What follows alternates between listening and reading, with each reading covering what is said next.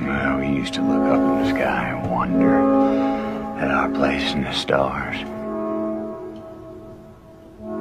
Now we just look down and worry about our place in the dirt.